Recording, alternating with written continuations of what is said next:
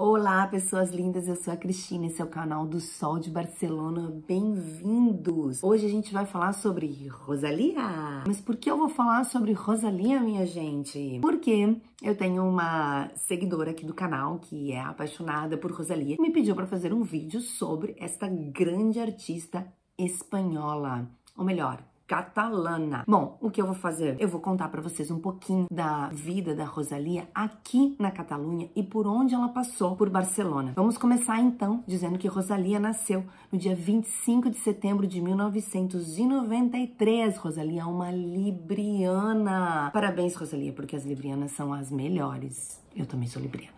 Enfim, Rosalia vai nascer em uma cidade que se chama San Estevão da Sasroviras, que é uma cidade que fica 40 minutos aqui de Barcelona. É uma cidade que está na região do Baixo Llobregat. Rosalia, desde pequena, tem interesse pela música e vai ser estimulada pelo seu pai para seguir esta veia musical. Dizem que com 13 anos, Rosalia vai formar um grupo de dança e de música com as suas amigas. Esse grupo se chamava Triana. Com 16 anos, Rosalia vem para Barcelona para estudar música na Escola Superior de Música da Catalunha.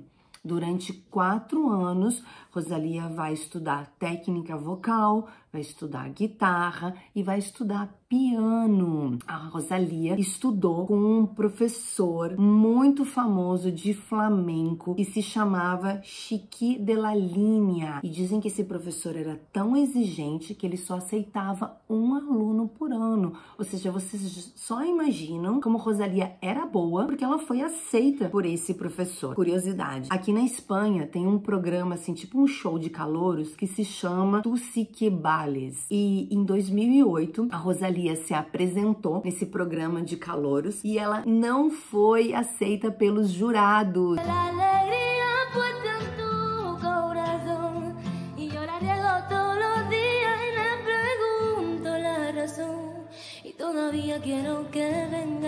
Porque le guardo mi amor, porque le guardo mi amor. Yo sí creo que esa canción no, no era la. Creo que no, no, las, no era la que tenías que haber cantado esta noche. Tienes que sacar algo de carácter y algo de voz. Ahora mismo. Lo que quieras. You and me together through the days and nights. And I don't worry, cause everything is gonna be alright.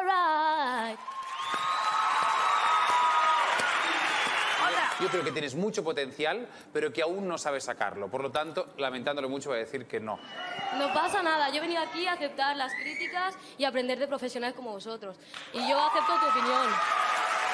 Boy, you must have gone and bumped your head Because the last number on your phone Maybe I'm the one to blame, but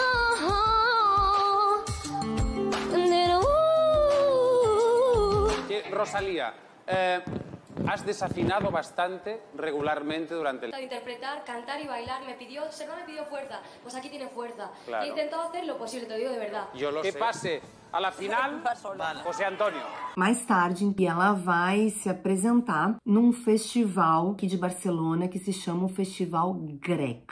Esse festival acontece no Teatro El Grec, que fica no Montjuïc. Em, entre 2006 e 2007, a Rosalia vai estar muito metida no mundo do, do flamenco, ou seja, ela vai cantar flamenco, ela vai fazer muito sucesso em Barcelona cantando flamenco, e um dos lugares onde ela vai se apresentar é o Tablau da, da Carmen, um- uma casa de show especializada em música e dança flamenca que fica no Pueblo Espanhol. A dona dessa casa de show, em uma entrevista, falou que quando a Rosalia se apresentou, foi um sucesso tremendo, que todo mundo ficou em silêncio e hipnotizado escutando a Rosalia cantar. Que ela foi simplesmente maravilhosa.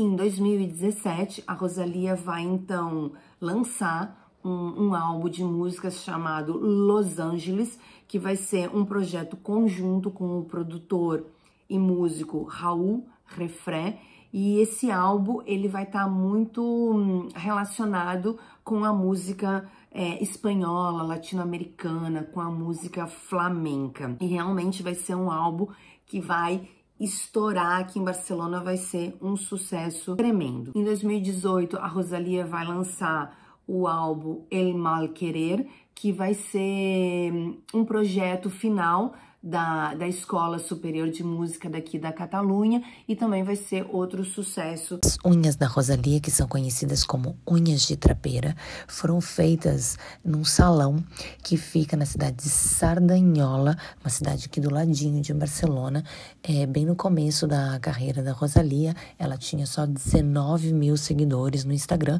e ela foi até esse salão e pediu para fazer uma permuta, ou seja, eles fariam as unhas para ela e ela divulgaria esse salão no Instagram.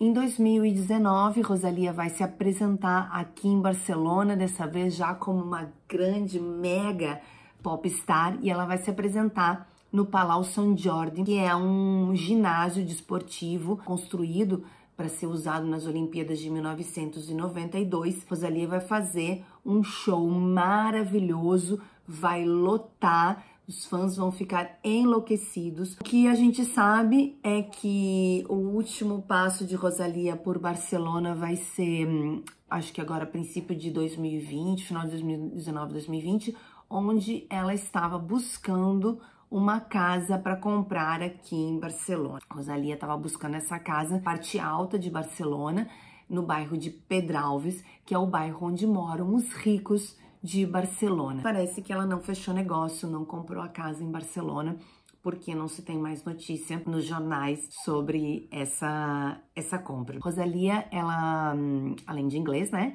Ela fala dois idiomas, ela fala espanhol e ela fala catalão também. E a música Milionário que ela, ela canta em catalão. Então eu acho muito legal que a Rosalia é uma pessoa que não nega as suas origens, né? Na música dela, ela mistura um pouco do flamenco e também é, cantou essa música Milionário em catalão, que é um idioma que praticamente ninguém conhece.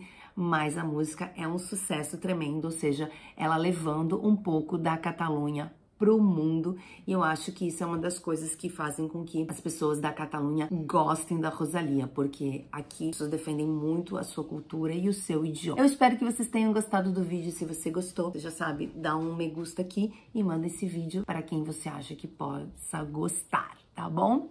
Eu fico por aqui. Adeus!